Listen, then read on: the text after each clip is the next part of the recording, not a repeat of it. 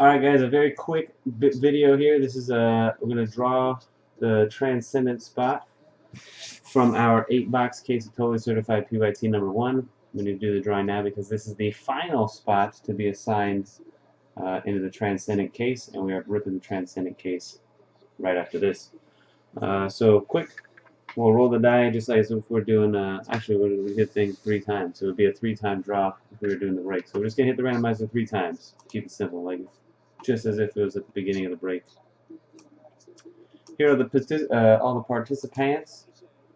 You got Hammerhead Chris on the top spot, all the way down to Group Break Checklist on the bottom. This one is signed up in the order you guys bought spots. So Group Break Checklist actually purchased the first team in the break. Hammerhead Chris won the spot uh, in the filler tonight. Quick and simple, three clicks. The number one spot is in Transcendent Case. Going next. Good luck. One, two, and three. RB Rocks. Congratulations, RB Rocks. You are in to win. Transcendent. Breaking now.